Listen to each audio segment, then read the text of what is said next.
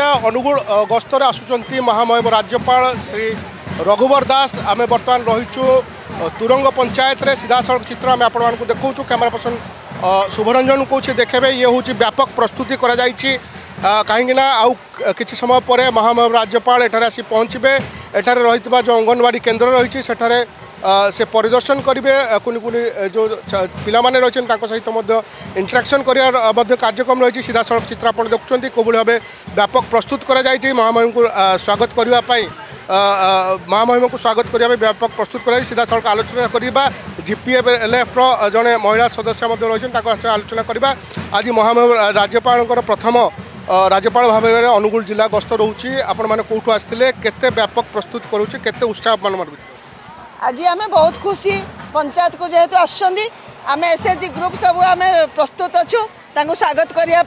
बहुत उत्साह और समस्त बहुत उल्लास खुशी अच्छी सब माँ मैंने आज आसुँच स्वागत करेंगे आ देखिए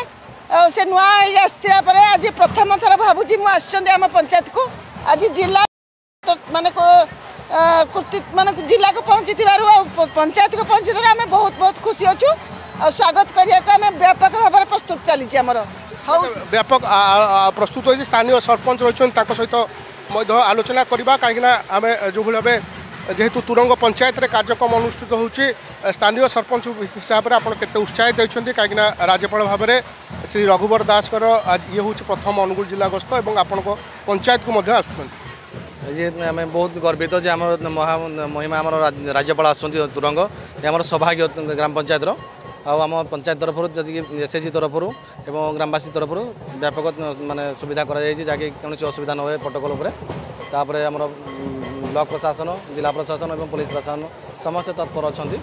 କୌଣସି ଅସୁବିଧା ଯେମିତି ନ ହୁଏ ବିଶୃଙ୍ଖଳା ନ ହୁଏ ନିଶ୍ଚିତ ଭାବେ ଇଏ ଆମେ ଆଲୋଚନା କରୁଥିଲେ ଯିଏ ସ୍ଥାନୀୟ ସରପଞ୍ଚ ହୋଇଛନ୍ତି ତାଙ୍କ ସହିତ ବିସ୍ତୃତ ଆଲୋଚନା କରୁଥିଲେ ଯେଉଁଭଳି ଭାବେ ରାଜ୍ୟପାଳଙ୍କର ଆଜି ଗସ୍ତ ରହିଛି ତାକୁ ନେଇକି ଆମେ ବିସ୍ତୃତ ଭାବେ ଯେଉଁ ଜି ପି ଏଲ୍ ଏଫ୍ର ଯେଉଁ ସଦସ୍ୟମାନେ ବା ଏସ୍ଏସ୍ଜିର ଯେଉଁ ସଦସ୍ୟମାନେ ରହିଛନ୍ତି ତାଙ୍କ ସହିତ ମଧ୍ୟ ଆଲୋଚନା କରୁଥିଲେ ଠିକ୍ ସାମ୍ନାରେ ଯେଉଁ ଆଦିବାସୀଙ୍କ ପାରମ୍ପରିକ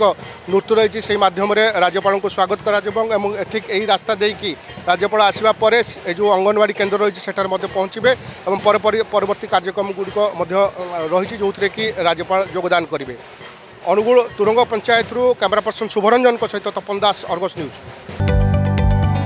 जदि आपण को आम भिडी भल लगा तेब आम चेल्क लाइक सेयार और सब्सक्राइब करने को जमा भी भूलु ना